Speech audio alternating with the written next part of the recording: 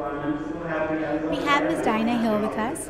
Ms. Dinah, could you introduce yourself for us, please? Thank you. I'm Ms. Diana Marfatia, the principal of the Bai Avabai Petit Girls High School at Bandra. So, Ms. Dinah here is our guest today. Uh, Ma'am, what do you, from what you see around today at the award show, what is your opinion about us? And would you like to have Whiz Juniors in your school as well? This is actually my second award show of uh, Clone Futura as Whiz Juniors. I think I'd come last year as well. And uh, I love the energy here, and there are so many children, schools, and teachers involved in this.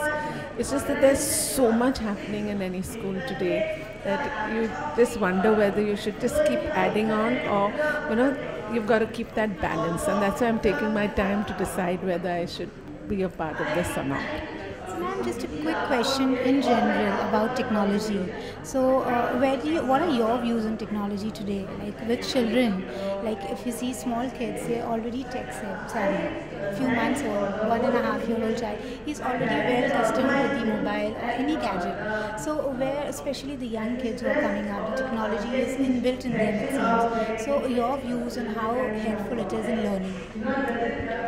So, um, our girls are also extremely tech savvy, of course. Just because we don't have this program, it doesn't mean because the technology is all around them. And uh, we have smart classes and we teach through technology. And a lot of our communication between us and the children and the parents is also through technology. And so I feel that uh, technology is extremely good, and I know it's the solution to a lot of things in the future, and it's going to replace a lot of human uh, work. Uh, but I still feel very strongly that we need to draw the line somewhere and make the right balance.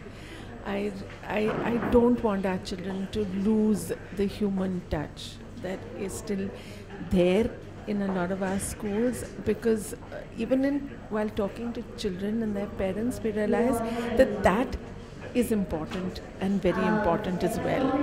So, uh, technology will play its part in enhancing learning and maybe enabling the teacher to do better, but it cannot replace the teacher and the human contact. Definitely, teachers will always be a very important role in molding a child's career, definitely. And thank you, ma'am, for sharing your views.